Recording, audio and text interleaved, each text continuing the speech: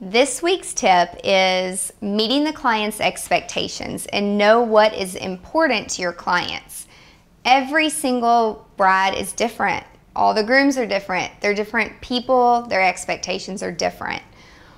So in the final meeting, I always ask the bride and groom, would you like to eat something, even if it's just the appetizers before you're announced into your reception? Because once you're announced, everyone's gonna talk to you and it's gonna be over. You're not really gonna have a minute to sit and eat.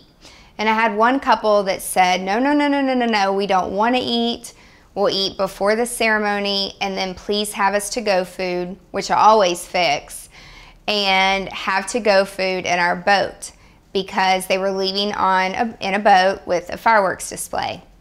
So, you know, I said, okay, that sounds great. So that's what was on the timeline. We had to go food in their boat towards the end of the night. The boat was ready. They were going to eat when they got on the boat. That was the plan.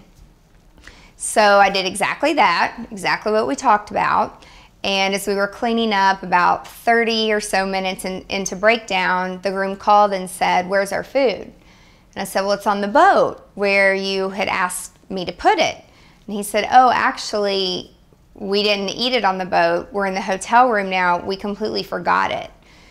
So I had someone get the boat, pull it back out. We went down there, and unfortunately, the food had ants, it had bugs um, from where we sat it in the boat, and the kitchen was closed. We were in the middle of nowhere it was a beautiful park and be with beautiful ponds, but unfortunately there was no food to be found. In the kitchen, they couldn't just fire it up. Everybody was gone.